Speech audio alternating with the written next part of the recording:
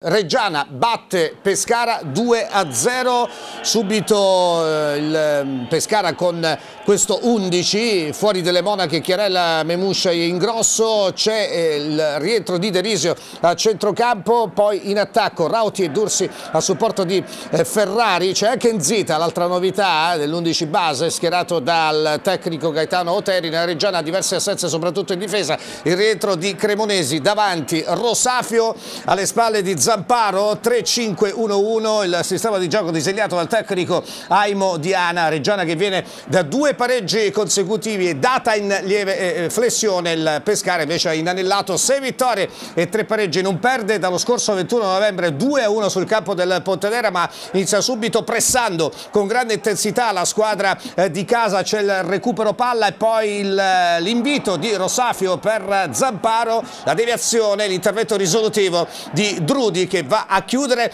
la traiettoria, dunque parte subito forte la squadra granata, la squadra allenata da Aimo Diana, rivediamo l'azione che abbiamo commentato precedentemente, siamo al settimo minuto e c'è eh, la eh, prima svolta del match con il rigore provocato da Nzita che non accompagna l'esterno destro Guglielmotti, Guglielmotti sfonda in area, c'è Ijanes in copertura, imprudente Nzita che tocca proprio il piede piede di Guglielmotti. Sarà il leitmotiv della, del primo tempo perché Guglielmotti davvero è devastante su quella fascia. Sul punto di battuta Zamparo spiazza il portiere sorrentino 1-0 Reggiana tredicesimo centro in questa stagione per l'attaccante classe 1994 sarà il grande protagonista della partita Ripetiamo il rigore trasformato da Luca Zamparo, Zamparo che lo scorso anno non aveva segnato in Serie B, due anni fa sette gol, da gennaio a giugno nella promozione della Reggiana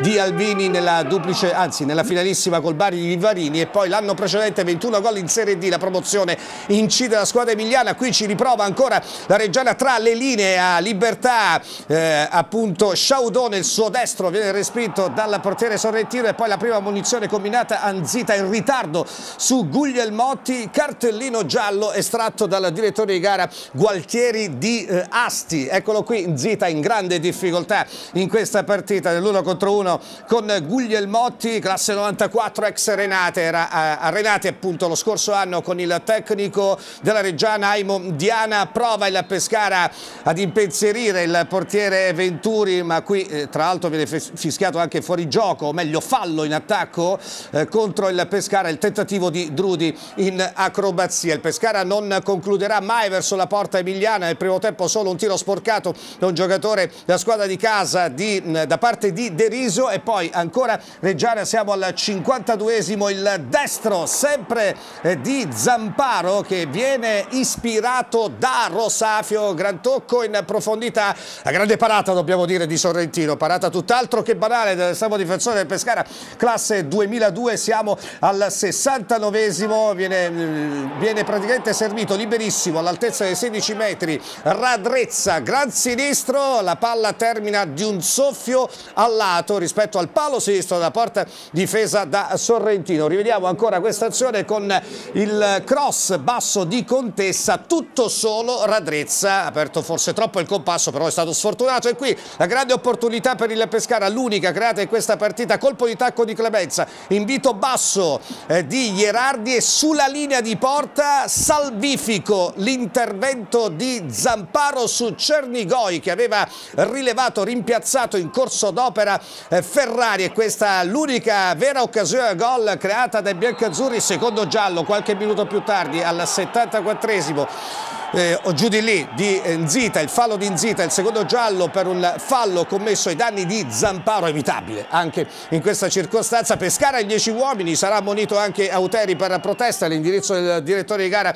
Gualtieri di Asti, dunque ultimi 15-20 minuti in inferiorità numerica c'è questo cambio gioco di eh, Cancellotti che mette in difficoltà Drudi, poi Arrighini, il cross in mezzo e la volée di Radrezza, forse la deviazione azione di Ierardi, Reggiana 2, Pescara 0, minuto 79 nel corso del, di questa partita, beh, insomma cambio di gioco davvero inopinato da parte di Cancellotti, l'anticipo di Arrighini è entrato in corso d'opera, eh, una delle sostituzioni operate dal tecnico Diana, palla in mezzo e l'acrobazia eh, di eh, Radrezza con la palla che forse è stata deviata da Ierardi, dunque il raddoppio della Reggiana che di fatto eh, chiude i conti, poi ci sarà una reazione del Pescara con un colpo di testa di Ierardi eh, parato, respinto dal portiere Venturi, intanto rivediamo ancora l'azione del raddoppio, eccola qui l'azione a cui mi riferivo, il eh, corner di Pontisso, colpo di testa di Ierardi, la palla viene respinta dall'estremo difensore Emiliano, poi ancora Ierardi che prova a concludere a terra, non si fa sorprendere all'altezza dell'area piccola il portiere della Reggiana Venturi, siamo al 93esimo, tre minuti di recupero concessi al direttore di gara Gualtieri di eh, Asti, era la gara della verità, Pescara sonoramente bocciato, Reggiana batte Pescara 2-0.